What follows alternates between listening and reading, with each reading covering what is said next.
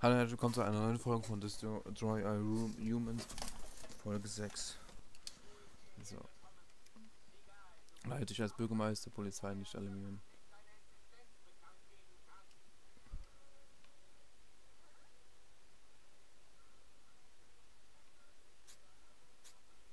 Wo ist der hergekommen?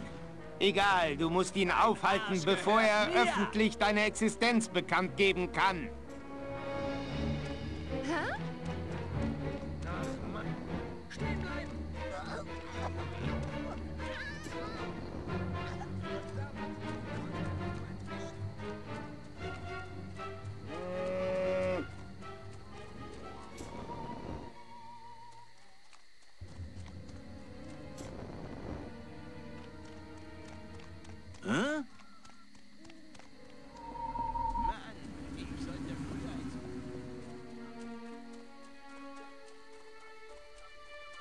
Ist der Polizeikommissar? Er sollte mich doch beschützen.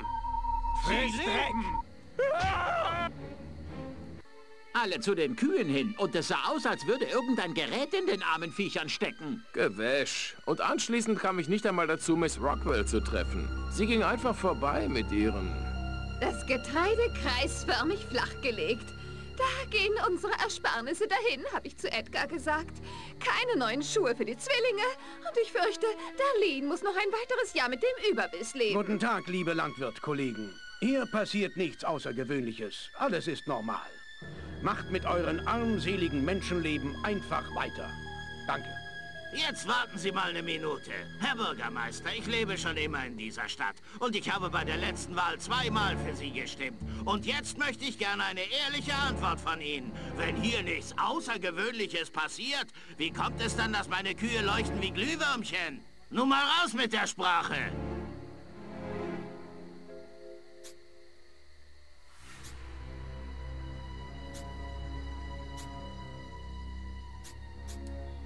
Ich habe nicht die geringste Ahnung, wovon Sie reden.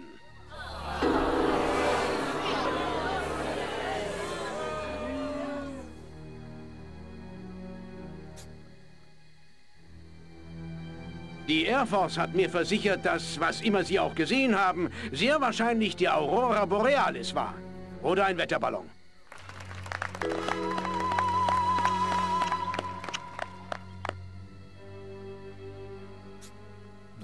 Kannst du immer. So. Nun, ich weiß nicht, wie es Ihnen geht.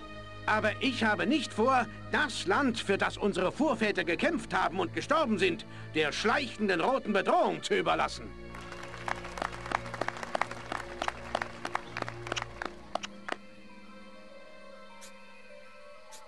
Sie waren ein angenehmes Publikum.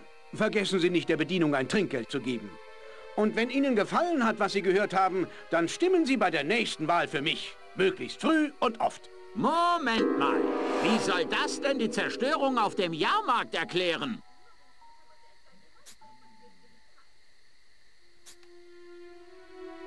Hören Sie, ich werde nicht ruhen, bis wir die Täter gefunden und sie der Justiz übergeben haben. Moment mal. Wie kommt es, dass niemand in Santa Modesta jemals so etwas gesehen hat? Santa Modesta hat genau die gleichen Probleme wie wir. Der Unterschied ist nur, dass wir mit der Rockwell Gazette eine preisgekrönte Redaktion haben, der nichts entgeht. Die sorgen dafür, dass ich ehrlich bleibe.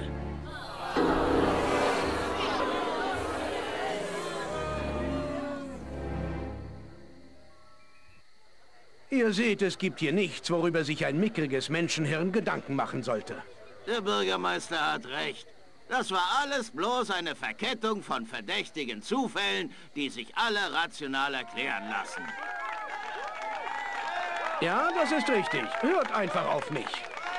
Blöd, Männer. Gute Nacht und ein angenehmes Morgen. Was für Versager! Hirne wie Matsch! Hier werden wir leichtes Spiel haben. Krypto, hast du gehört, was dieser Mensch während deiner Rede gesagt hat? Habe ich wohl verpasst. War beschäftigt. Hör zu. Bürgermeister In der Nähe gibt es noch ein Menschennest. Er nannte es. Santa Modesta. Finde heraus, wo es ist und begib dich dorthin. Es So. gibt noch mehr Menschen zu kontrollieren.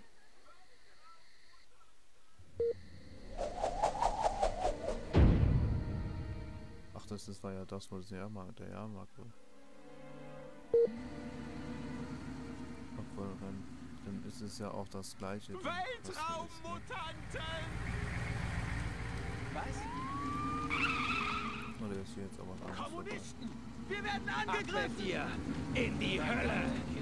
Dich krieg ich noch! Nein, Halloween, hä?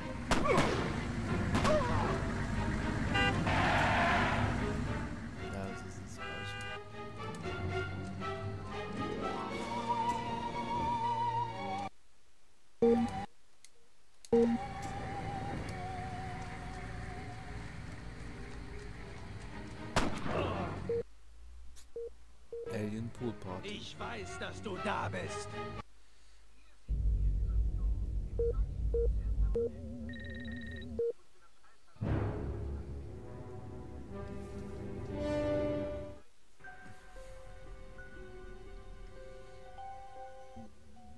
Hier sind wir, Krypto, im sonnigen Santa Modesta. Als erstes musst du das Alpha-Männchen dieser Stadt finden. Vielleicht können wir dann Einsicht in die soziale Hierarchie der Menschen bekommen.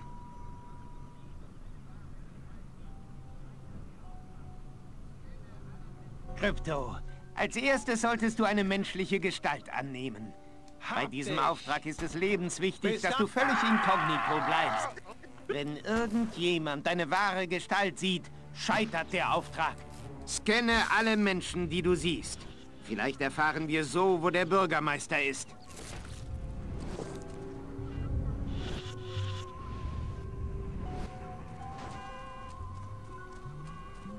Was? Komm, Dieser verkommene. Bürgermeister. Wir haben 500 Dollar für seine Kampagne also gegeben und haben Hab trotzdem keine keine, Angst. Einladung zur Ich Poolparty bekommen. Vier. Vielleicht sollte ich diese Fotos an die Zeitung verkaufen.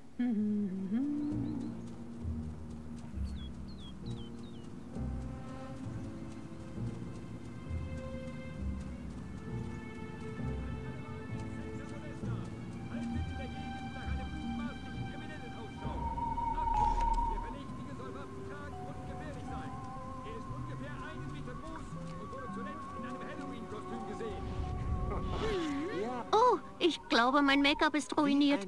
Ich muss nach Hause und mich neu schminken.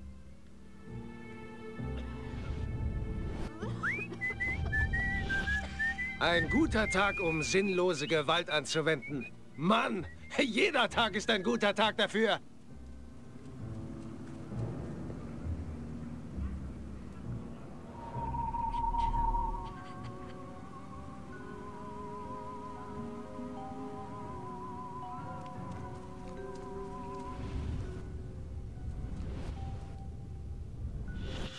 Ich bin gesagt? das Gesetz. Ich muss schon sagen, dass dieser Staubsaugervertreter einen ganz netten Eindruck machte. Ich könnte weiterarbeiten, aber ich glaube, wenn ich diesen Boden noch einmal bohnern muss, sterbe ich. Weißt du, was das hier abrunden würde? Ein neuer, fahrbarer Rasenmäher. Mann gegen Natur. Sieg der Zivilisation über die Wildnis. Der ewige Kampf geht weiter. Junge, Junge, dieser Ike, ihn würde ich bestimmt zum Grillen einladen. Mir fern. Ike, der Grillpräsident. Das ist doch mal eine Grundlage für eine Wahl.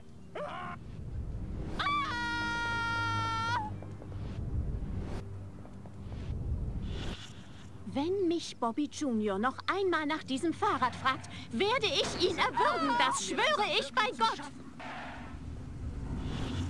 Hm. Bob schaut mich nicht einmal mehr an. Gott sei Dank.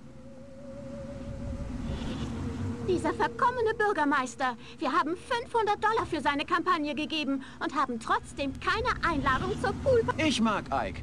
Er ist zwar kein Hoffman, wenn sich irgendwas angenehmer anfühlen sollte als poliert, wenn es doch nur einen Weg gäbe, das Anschauen von verbotenen Bildern elektronisch möglich zu machen. Ich wette, in der fernen Zukunft, 1975, wird es das geben. Es würde Discotron heißen und die Menschheit verändern. Da scheint eine Art seltsames menschliches gesellschaftliches Ritual durchgeführt zu werden. Vielleicht kannst du durch Scannen mehr herausfinden. Dieser Bürgermeister ist armselig. Genau wie diese Poolparty. Zeit, diesen Ort in eine Müllhalde zu verwandeln. Willst du was von mir? Was geht ab? Mein Gehirn wird schwächer. Außerirdische! Ein Außerirdischer! Zeit für eine Valium. Knie nieder vor mir. Vielleicht verschone ich dann dein Leben. Muss ich dich erst erschrecken? Marsmännchen!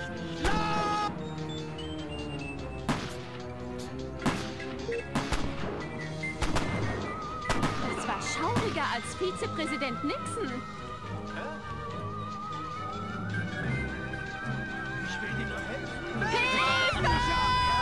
Die wollen Bleib genau da stehen. Zeit zu sterben, kleiner Mann. Komm zurück. Ich bitte dich nicht noch einmal.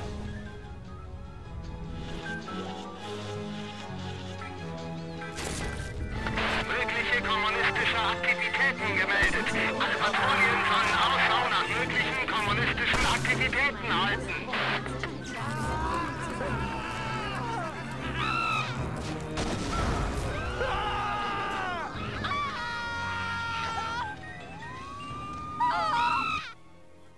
Gute Arbeit, Krypto. Leider scheinst du die örtliche De- Polizei aufgescheucht zu haben. Sei also vorsichtig. Um mit der Polizei von Santa Modesta klarzukommen, brauchst du eine neue Waffe. Ich schalte daher den Vernichtungsstrahler frei. Probier ihn direkt mal aus. Invasionsort ab, suche also immer die Gegner.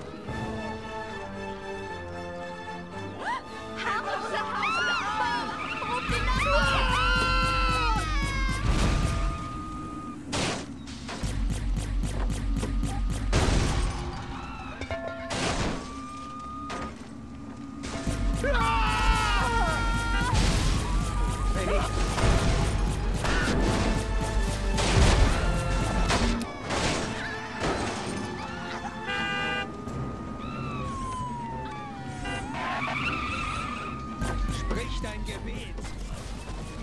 Hotelparty des Wahnsinns. Jugendliche von seinem Orchester bei der Weiterkehr Technik Österreich.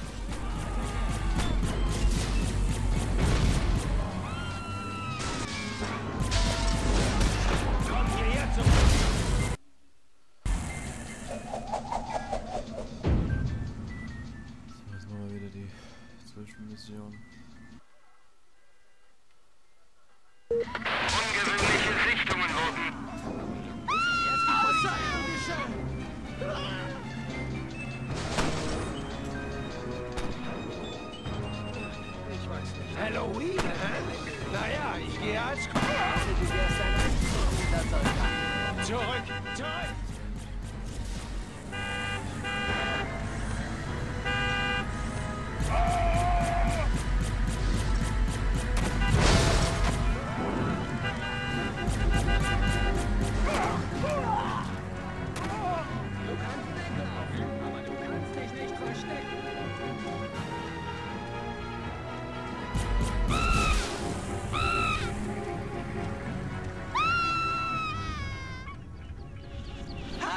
Junge, ich liebe meinen Ätzel. Ein echter Klassiker. Muss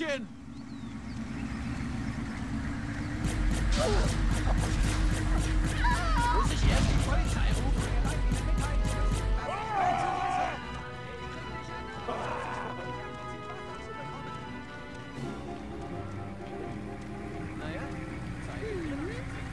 Lass deine Waffe fallen oder ich schieße.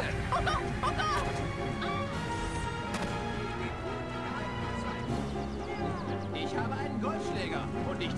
nicht, Gebrauch davon zu machen. Invasion aus dem All!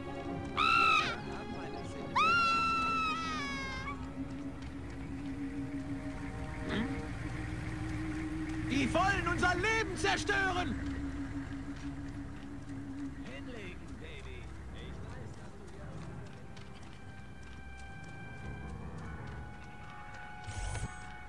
Was? Zu viel Invasion aus dem All!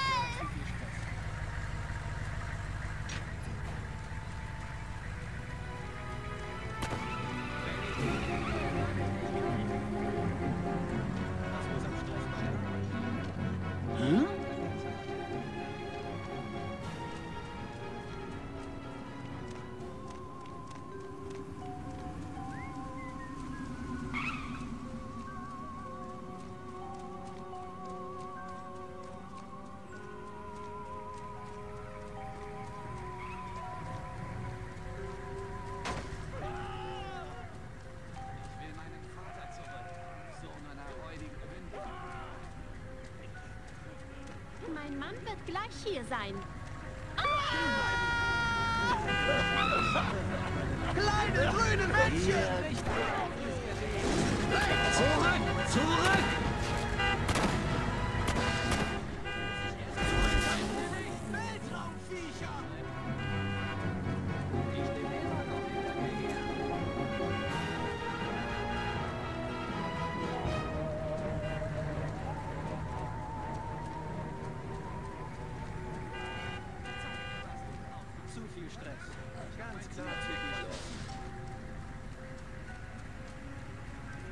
Kinder haben hier nichts zu suchen.